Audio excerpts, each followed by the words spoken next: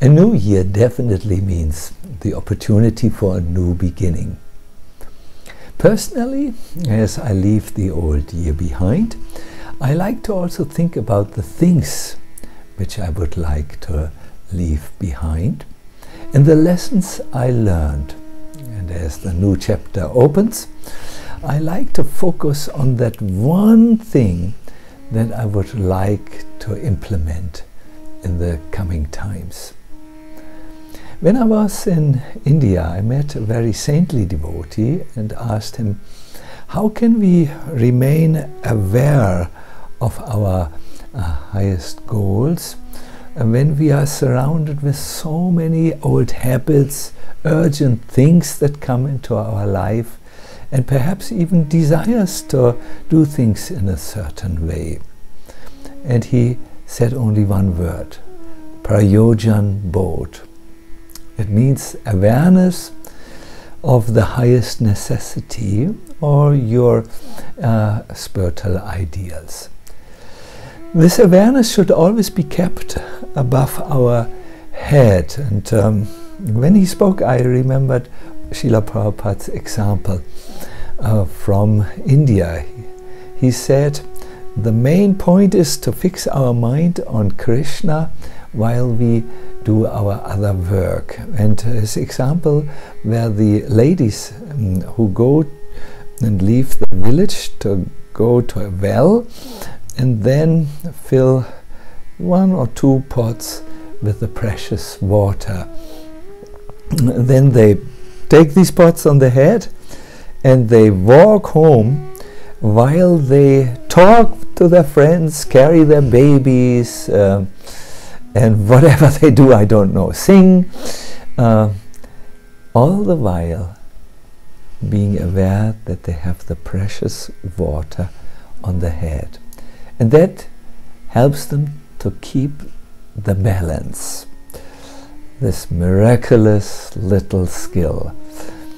Mm, so he concluded in the same way when you are always aware of your highest goal, Mm.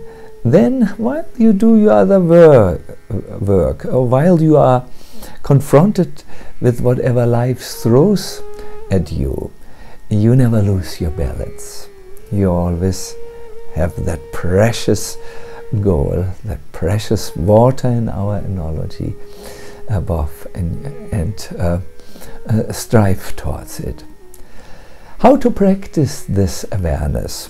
Mm, I've a few recommendations which I would like to uh, uh, share with you. The first is start and end every new day uh, with a contemplation on your uh, need, on your spiritual need, on your highest goal.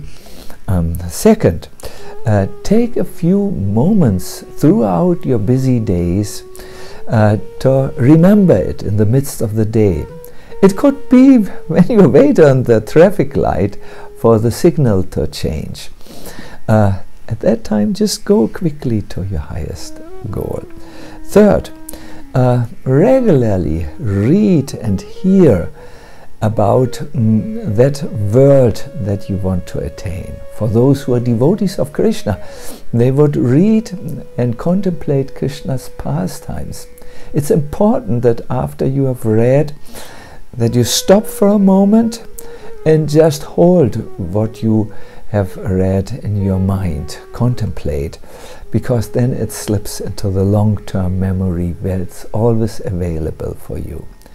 And finally, the fourth point is to share these insights with others, uh, perhaps learn from them, mm, go to like-minded uh, association, because when you uh, are together with people who live your ideals, uh, you magically take on their skills and values.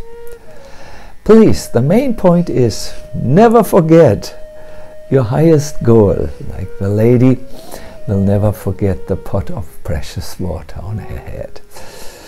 I wish you the most wonderful, strength filled new year that is even beyond your highest imaginations.